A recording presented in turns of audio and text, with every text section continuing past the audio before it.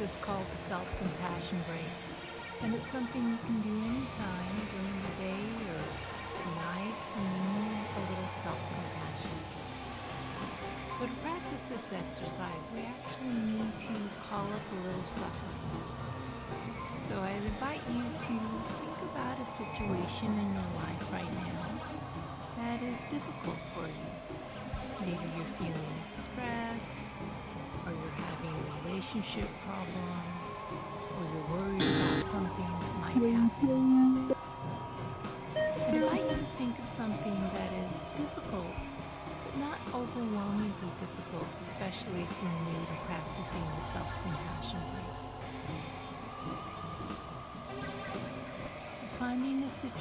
situation getting with it. What happened or what might happen. Who said what? Really bring the situation to life in your mind's eye. And then I'm going to be saying a series of phrases that are designed to help us remember the three components of self-compassion when we need it most. So the first phrase is this is a moment of suffering. Right? We're bringing mindful awareness to the fact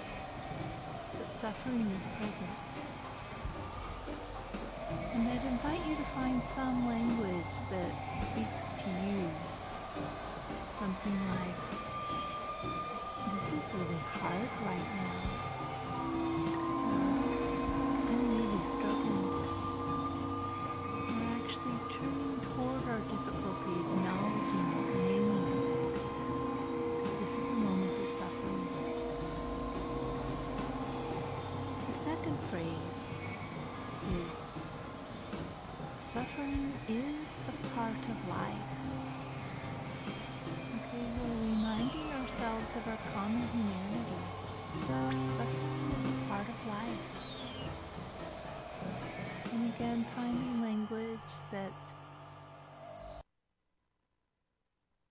something like